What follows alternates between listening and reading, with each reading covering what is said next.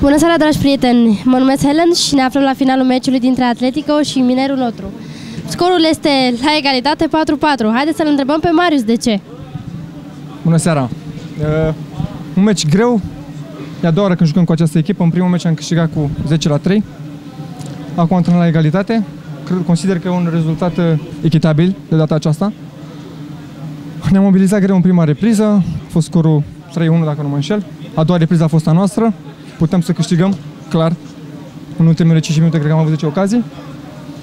Asta e, am la egalitate. Data viitoare o să câștigăm. În care din uh, reprize v-ați simțit mai uh, puternici? Clar, în a doua repriză. În prima repriză ne-am, ne mobilizat foarte greu. A doua repriză consider că a fost a noastră. Ce pot să zic? Care a fost uh, omul uh, meciului în această seară? Omul meciului nu știu, am jucat ca o echipă, nu cred că a fost cineva omul meciului. Poate Palașcă, Gabriel, care a dat uh, două goluri. A fost o echipă, am jucat ca o echipă. A fost un meci pe cinste. Strâns, așa s-a văzut și de aici. Ce planuri aveți pentru următoarele meciuri? Pentru următoarele meciuri, clar, uh, victorie. Noi uh, chiar discutăm în fiecare zi cum să ne așezăm, cum să ne mobilizăm mai bine să câștigăm fiecare meci.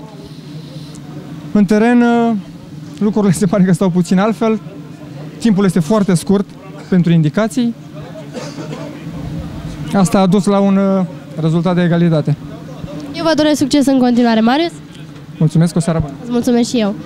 Țin să mulțumesc și sponsorilor noștri, Homa Sport Shop și Pita. Nu uitați să dați un like paginii noastre de Facebook Liga Prieteniei. Pentru mai multe detalii, vizitați site-ul nostru www.ligaprieteniei.com